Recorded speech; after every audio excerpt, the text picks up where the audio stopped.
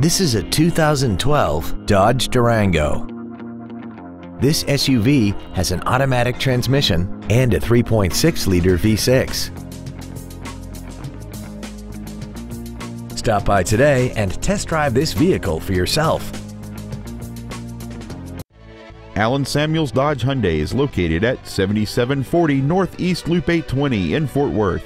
Our goal is to exceed all of your expectations to ensure that you'll return for future visits.